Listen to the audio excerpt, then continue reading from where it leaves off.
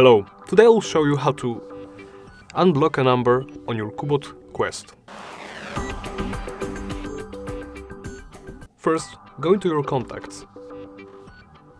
Then tap the three dots icon. Go into settings. And go into blocked numbers. Finally, press the X next to the number you want to unblock. And click unblock. And that's it. Thank you for watching. Remember to comment, hit like and subscribe.